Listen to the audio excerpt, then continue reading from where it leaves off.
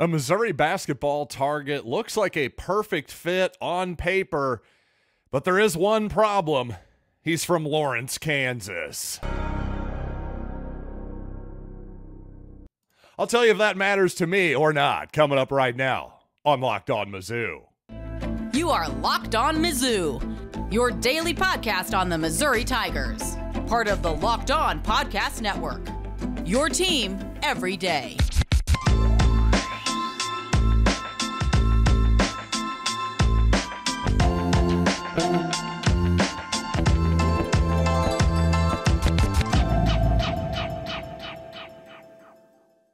Hey, all you true sons and daughters, I'm John Miller, your Mizzou mafioso and a former Missourian Tribune guy turned trader, turned back into the sports world. I'm podcasting, what, 895 episodes deep now. Thanks for joining me once again on today's program. We're going to talk about Dennis Gates officially needing a new assistant coach and by God, maybe the NCAA actually listens to me after all. It feels good to be heard and seen. But you know what? Before we start off the program, I do want to remind you that today's episode is brought to you by Nissan. And are you the kind of driver that likes to push things a little further?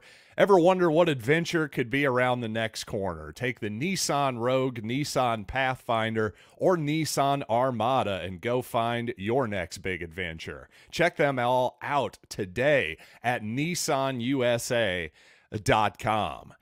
And again, I want to start off today's program uh, talking about a Mizzou target who, on paper, looks like a heck of a target, a really good fit for Missouri. Obviously, with Nick Honor and Sean East departing the program, only Anthony Robinson, at least at this point, we're assuming Anthony Robinson will be back next year.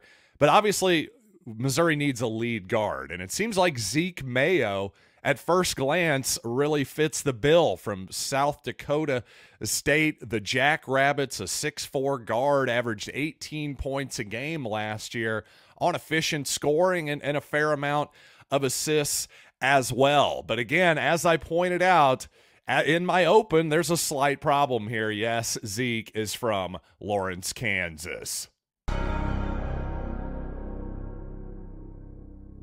And if that doesn't send a slight shiver down your spine, then, well, you're not a real Missouri Tiger fan. And I'll be honest with you, it does sound like he might be Kansas bound, maybe NBA bound too. But it does sound like Missouri is very interested at the very least. So, at the risk of being put on the Power Mizzou list of secret beakers, I got to be honest, I don't really care if he's from Lawrence, Kansas or not. Because here's the thing what I care about most of all is Missouri being good at basketball. And certainly there have been guys from Kansas who have been true sons before. I don't know. How far do we want to slice this? But here's the thing if he does eventually go to Kansas, he being Zeke Mayo, pronouns pal, then he's officially dead to me. So is that a rational take by yours truly? No, it's not rational at all but it is consistent. So your mileage may vary, as they say. Maybe you would not take somebody who probably grew up as somebody who favored Kansas, if was not an outright Kansas fan, to be honest with you. Would you take somebody like that? I don't know. If he's turning down Kansas for Missouri, that sounds like a true son to me. So, again, we'll just have to see what happens here. In my opinion, anybody who signs on the dotted line for Missouri is okay with me. It, it just in in terms of where they're from geographically. I'm not going to discriminate that harshly. But again, if he goes to Kansas, dead to me. And speaking of Mizzou basketball, quite a bit of news to get to on the assistant coaching front. And I do think this is important for Mizzou and Dennis Gates here heading in to year three. According to Gabe DeArmond, Nutt has officially been moved to the role of assistant to the head coach slash senior advisor. So this opens up one spot on the bench here for Dennis Gates. And this is not being made for performance reasons, of course. This is being made for health reasons as Coach Nutt continues to recover and hopefully win that battle with cancer. Obviously, once again, all the best wishes and thoughts and prayers in the world out to Coach Nutt. But the bottom line is now he need Dennis Gates needs a new full-time assistant. And to me, you got to be looking for a guy who has some defensive basically defense is his is his forte. That's what I'd be looking for in an assistant coach because in terms of recruiting, I think Dennis Gates and CY Young and Kyle Smithpeters pretty much have that covered, it would seem to me. Smithpeters, for instance, the lead recruiter on Annor Boateng, the, the highest rated recruit for Missouri coming in this season. Also, the prize of and only recruit so far in the 25 class columbia missouri's aaron rowe here goes to goes to school here in to- tolton high school. Both of those guys were smithpeters recruits and cy young obviously brings in a lot of talent as well. So i just don't think recruiting in and of itself is the real concern here if i'm hiring a new assistant coach and i'm dennis gates. And by the way speaking of kyle smithpeters Notable here that Southern Illinois has hired a new coach, a new head coach, by the way, and it's not Kyle Smithpeters. There was some talk in the last few weeks that Smithpeters was a strong candidate there, and if he would have gotten that job or been offered that job, would have been hard to see him turning it down. So I would say that's good news for Missouri, as Kyle Smithpeters has obviously been an important part of this staff. And speaking of leadership, well, it's not just the basketball team that's going to be looking for a new assistant. It's now been well over a month since Desiree Reed Francois surprisingly departed her post as Missouri's athletic director to take the same position at Arizona. And frankly, at this point, the fact that there's no news whatsoever, again, it just seems like another reason to question Missouri and its leadership. I really think that's fair now. At this point in the process, it's almost April. Francois departed February 19th. Really, you know, all here's all I know. No matter how long it takes, Missouri leadership better get somebody in charge who knows what they're doing has some type of forward looking vision for where this sport is going. To use the old Wayne Gretzky phrase, skate where the puck is going and not where it is right now, because there's so much change, not only that has happened in the last few years in college sports, still so much to come, so much change still on the horizon.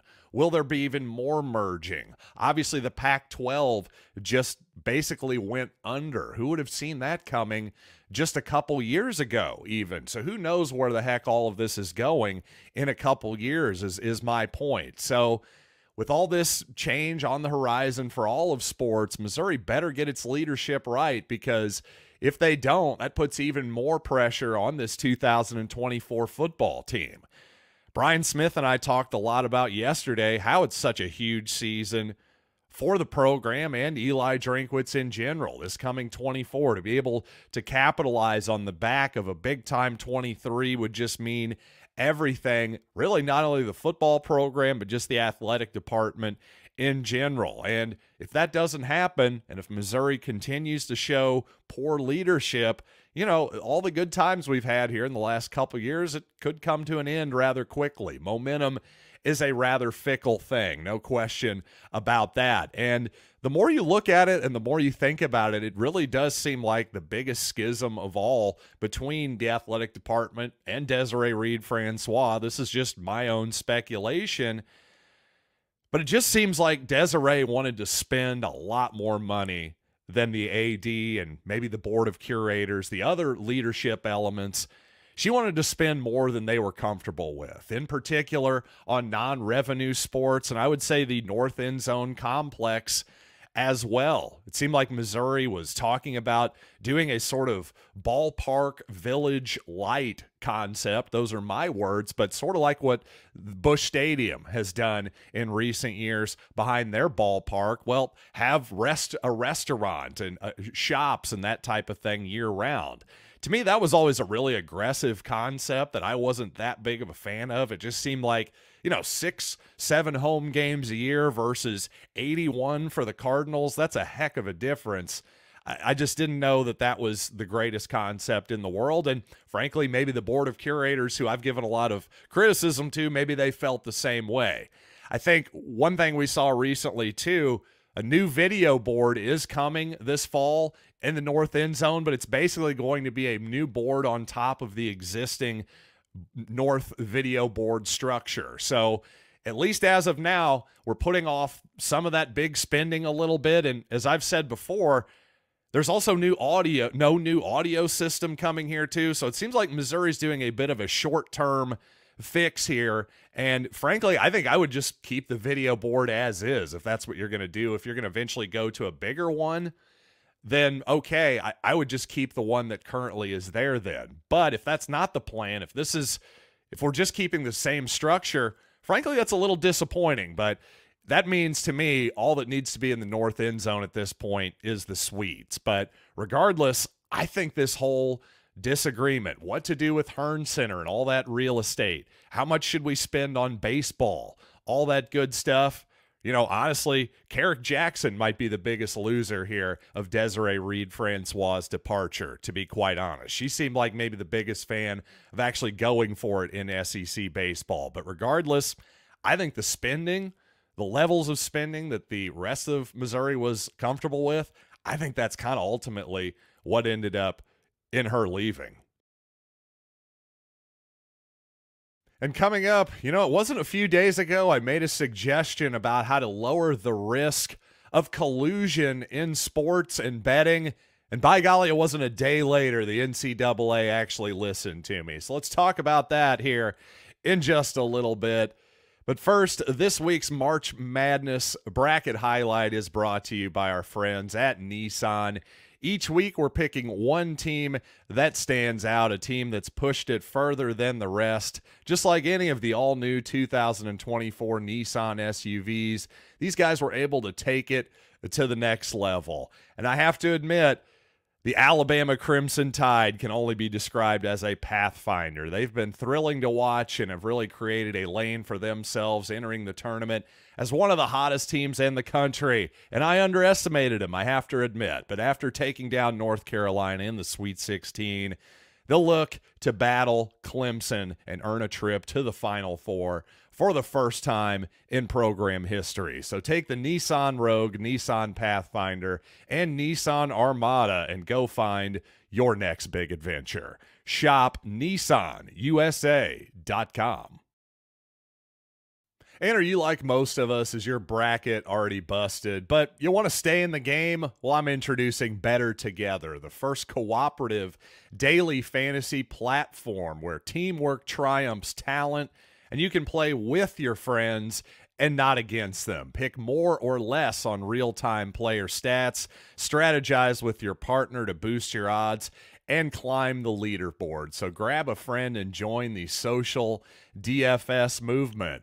You know, I was just thinking this might be something fun for my father and I to do together because we both have our own specialized knowledge. I would say that's another beautiful thing about Bettor Together. Play with a friend. For instance, my dad watches way more golf than I do. Hey, I can just piggyback onto his PGA picks. He can piggyback onto my my NFL and NBA picks. Come on. That's how you're truly better together, in my opinion. So download Bettor Together now from the App Store and sign up using promo code Locked On for a chance to win your share of over $1,000 in cash prizes.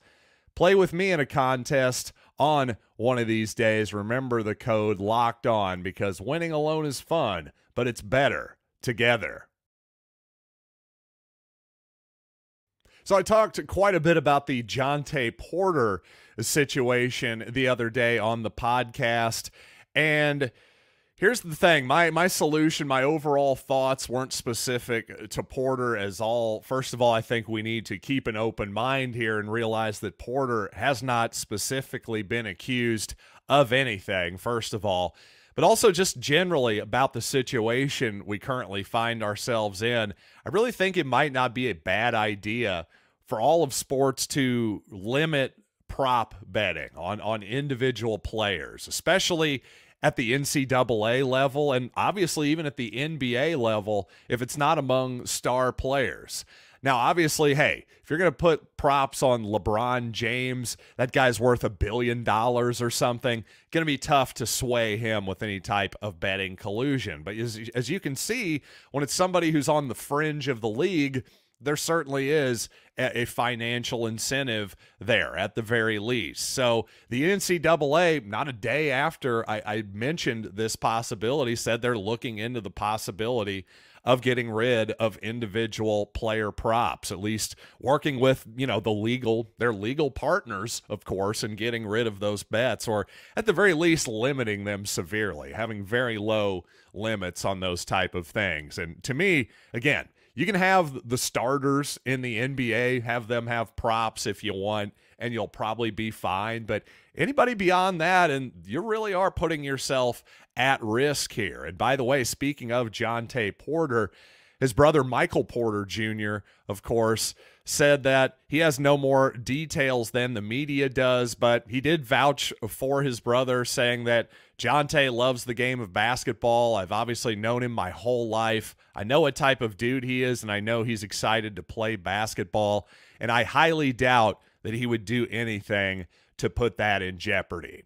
So there's Michael Porter Jr. talking about his younger brother. I thought it was also interesting here. He went on to describe sort of the new world that we're living in here with so many people not only betting, but just openly doing so. A lot of people knew at the experience as well. He said, especially the last few years, you hear people in the crowd saying what they need you to score tonight or what they don't want you to score.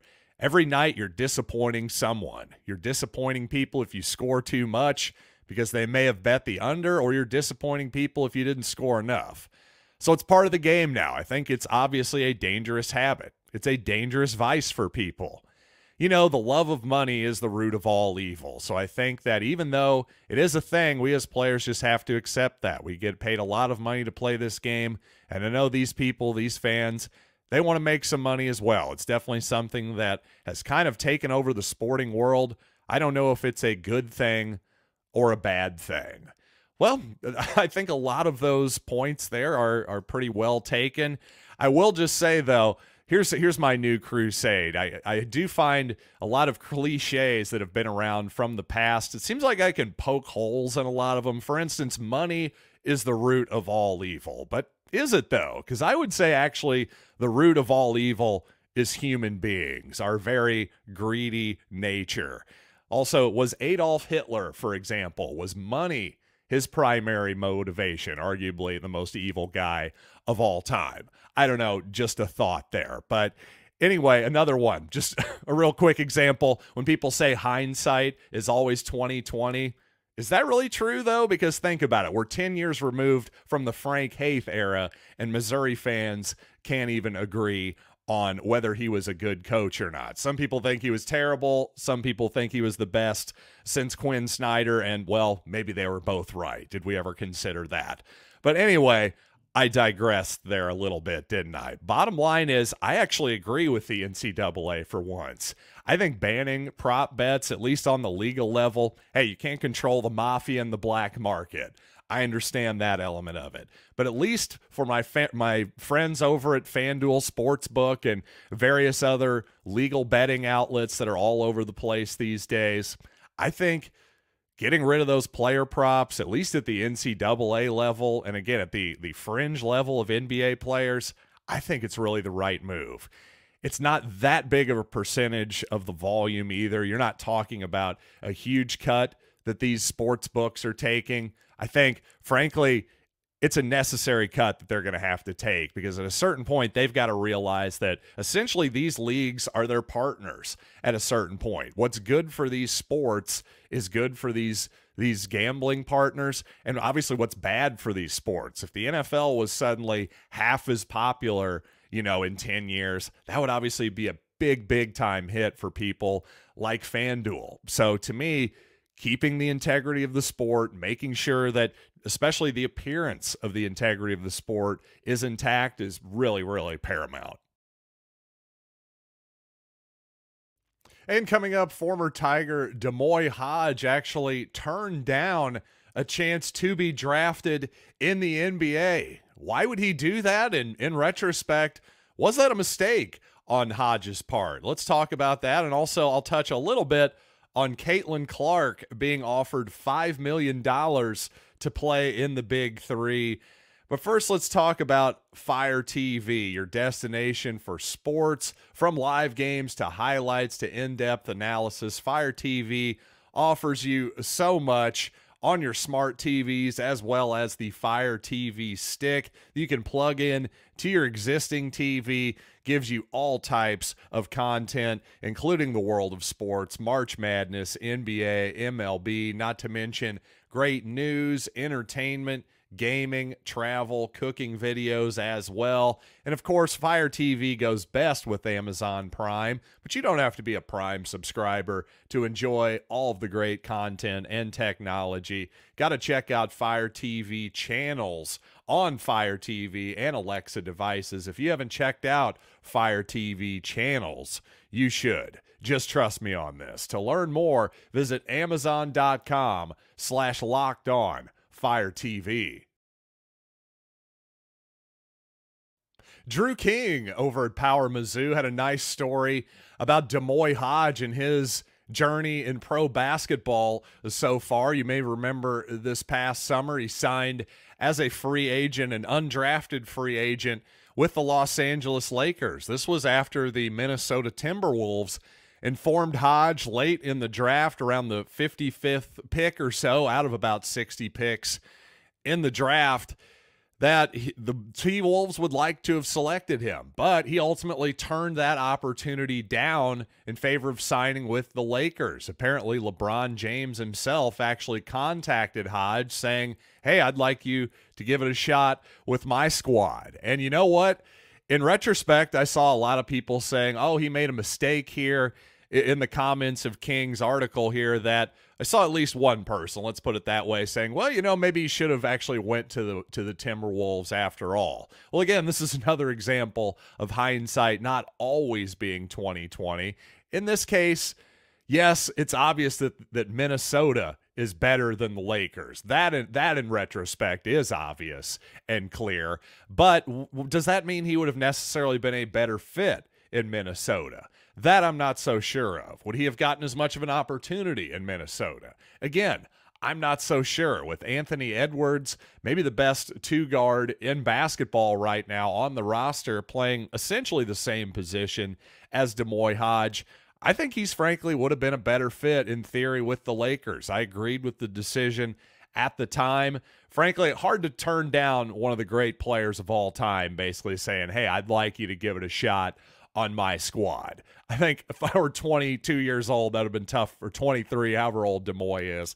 That'd have been tough for me to turn down as well. And on top of that, just the the, the nature of how LeBron plays basketball slows it down offensively, keeps the ball in his hands as much as possible. Hey, it's worked for him, right? Hard to argue with the results. Not always the easiest guy to play with, though, but to me, D'Moi Hodge, much of a, a catch and shoot player, not really a put the ball on the floor type of guy. To me, I thought it was a good a good opportunity for him. Hopefully, uh, eventually Hodge did get waived by the by the Lakers, you know, two or three months ago, something like that. So he's been grinding away in the G League, the NBA's minor league. So hopefully he gets another shot to be called up here eventually. D'Moi Hodge definitely one of the great one year players in Mizzou history. No question about that. And finally, I did kind of want to just touch a little bit on Caitlin Clark, the of course the Iowa star women's basketball player,